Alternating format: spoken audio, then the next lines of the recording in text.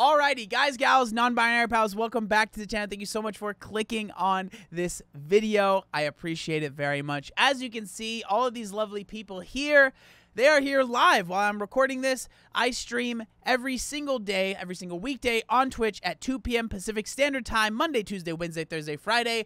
If you want to join us, please do. It is completely free. It doesn't cost you any money, and you can be here while I am live, and we have a fun, a ton of fun talking about a ton of different things. Before we get too much into the video, I do want to say this video is sponsored by me.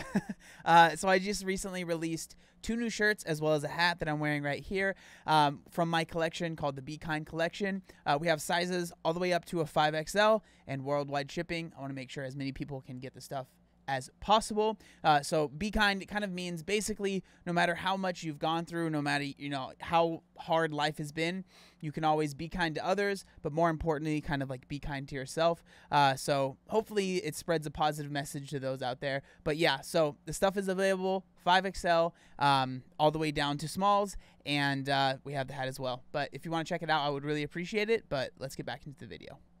Today, we are going to be talking about something I've talked about this before in videos, and I mentioned it in a very recent video. I kind of glossed over it, and I had a few people that were kind of curious. And so I felt like today would be a good day to kind of take a step back, talk about something that I've talked about in the past, but also share some of the knowledge that I feel like I have uh, accrued over the years and share how I feel now. What are we going to be talking about? We're going to be talking about uh, an ED known as binge eating disorder. And so let's switch cameras because we have two cameras. And uh, I'm going to look at you guys straight in the eye with this one right here. Oh, hey, what's up? That's crazy. It's like a new person. All right, so stupid. I want to talk about binge eating. And what I want to talk about is my experience with it because I feel that my experience, and I think that this is kind of how binge eating is for everybody. I feel like there's a lot of people that can relate to my story, but at the same time, my story is my story, right? And there is no one that has my exact story, and that kind of goes into a lot of what I want to talk about. So, for those of you guys that might not know what binge eating is, basically, it kind of manifests a little bit different for everybody. But what it was for me was I would over restrict during the week or during a few days and then I would go on these really crazy binge sessions where I would eat thousands and thousands of calories to a point where I felt like I couldn't control myself. Like I really felt like I was out of control.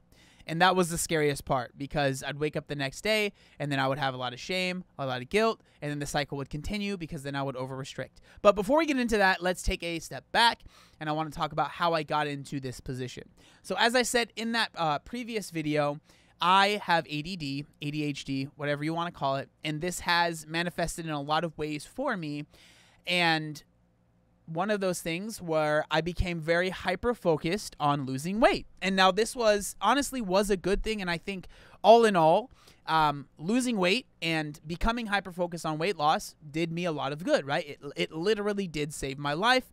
But with my life being saved, nothing is gumdrops and rainbows, right? There's going to be negatives. And one of the negatives for me was I became addicted to losing weight to where it wasn't healthy anymore. And so the way that I can explain it was I started cutting my calories and I started seeing results. And for me, this was a big deal because I was 20 years old. And at this time in my life, I had tried to lose weight many, many, many, many, many times, right? Like weight loss was something I did all, like basically my whole life because I was overweight my entire life and I tried to lose weight so many times and I was never successful, right? There are tons of people that they were successful. They've been, they've, you know, they've lost weight and they were able to lose 20 pounds, 30 pounds, 40 pounds, and then they gained some of it back, right? I was never that person. I literally was so bad at losing weight. I never saw any results. And I tried since I was a kid, right? There was one time, I've talked about this before. It's kind of funny, but it's also kind of sad. I was really, really young, under probably under 10 years old, around that age. And my mom was trying to get me to lose weight. Bless her heart. She was doing it because she cared about me. This is right when right around when my weight was becoming more more than just oh he's just chunky or he's just husky right it was like um it's becoming a problem, right? Like I don't understand why my son is gaining so much weight. So my mom, again, we were very poor, and somehow she got a hold of Slim Fast. I don't know. I know she didn't buy it, but I think someone at her job was trying it, and they ended up not, and so they gave her a bunch. And so for me, being a kid, I saw Slim Fast, Slim Fast. All right, so I drink these things and I lose weight. It doesn't work like that because I would drink them, but then still eat normal. so, you know, like I tell that story just to show you, like, I had tried to lose weight my whole life. I genuinely believed, okay? I genuinely believed that I could not lose weight because of how many times I had tried and how many times I completely failed before even losing 10 pounds. I felt like there was something wrong with me. I felt like it was impossible for me, right? And so by the time that I was 20 years old, I genuinely felt like I was a lost cause. I felt like there was no way that I could lose weight. The sad thing was is I fell into the trap that most people fall into is I tried so many things that were unnecessary and way too hard, way too intense. I couldn't stick to it. One, I was a kid, right? So I just I just didn't stick to it. But two, it was too intense. And so I would try all of these really really hard things and fail. And so I felt like there was something wrong with me. And so when I actually started to lose weight, it was just through counting my calories, and I wasn't even going to the gym before I would try and like go do some super hard workout routine that wasn't necessary. And again, I would burn myself out. I would feel like, "Oh, I earned XYZ food."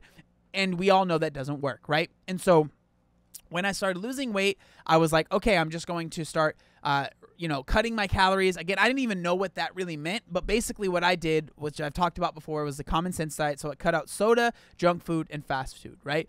So that's how I started. And what that meant was I started cutting calories, right? Without really even knowing what they were.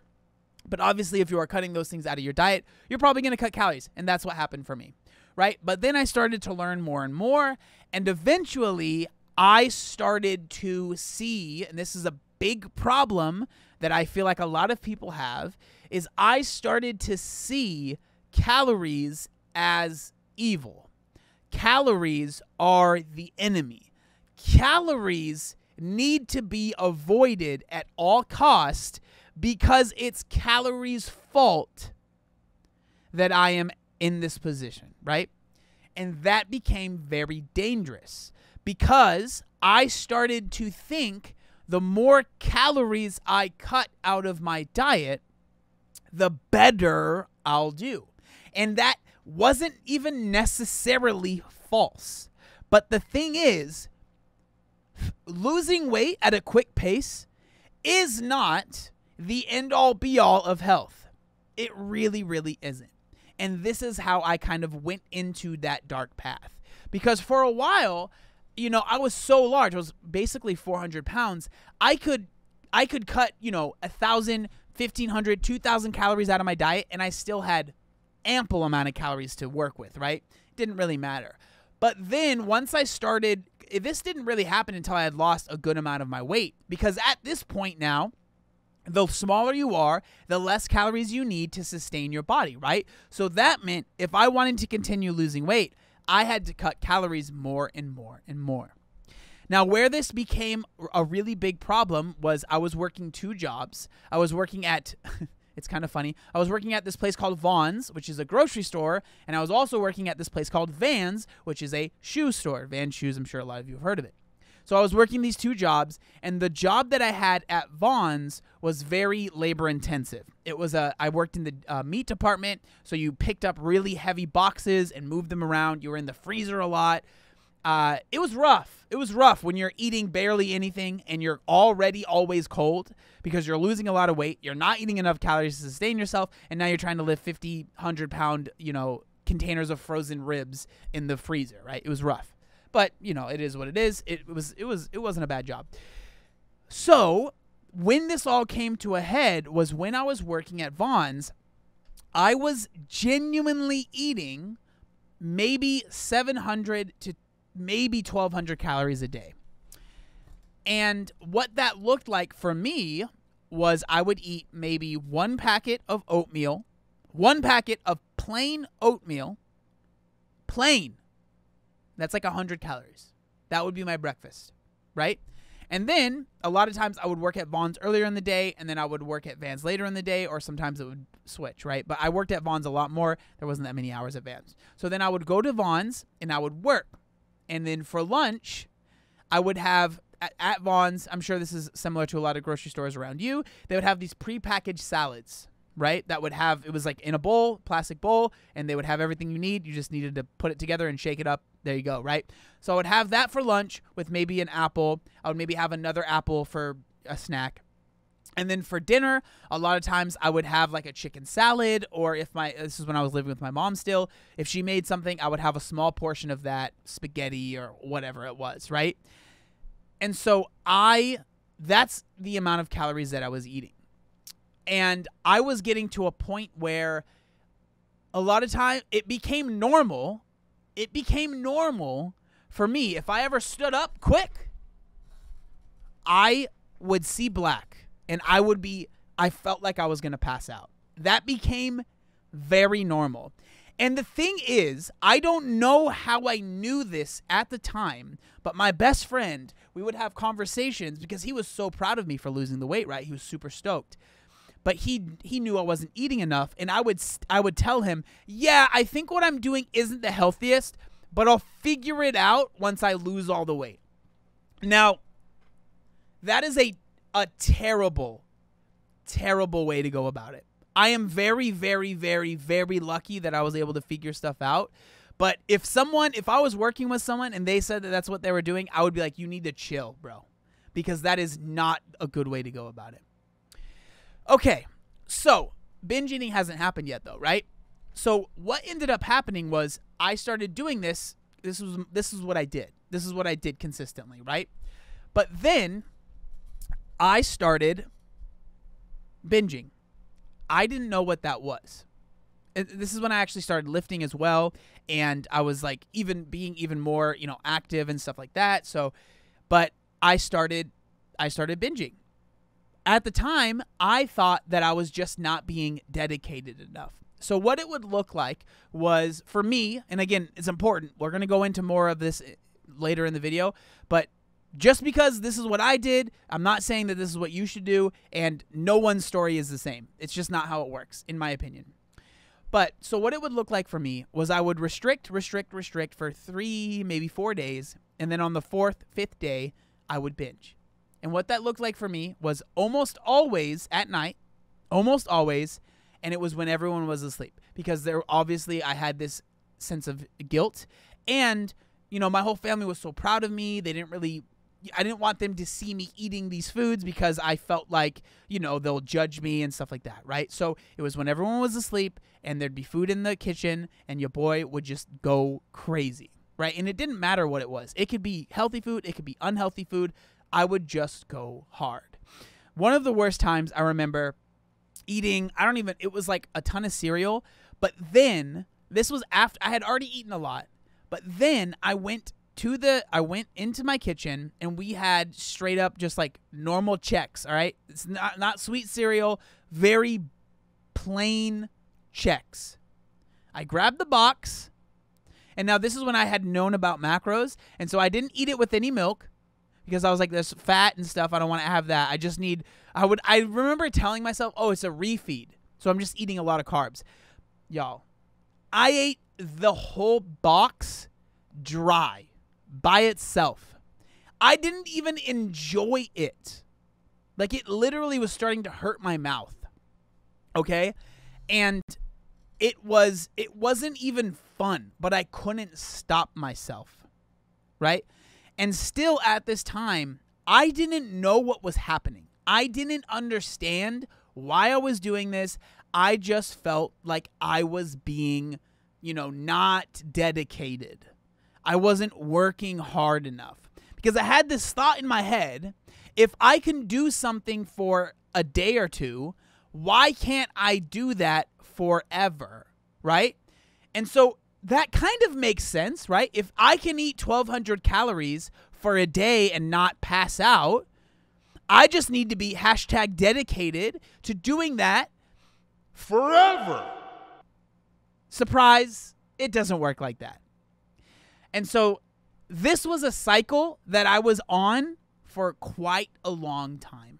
And it took a lot to get over it. Now, the way that I got over it, and this is again important, I am not telling you to do what I did. I am not saying that if you have a similar story to me, this will work for you. I am not qualified to give anyone advice. This is me telling my story. I am a YouTuber.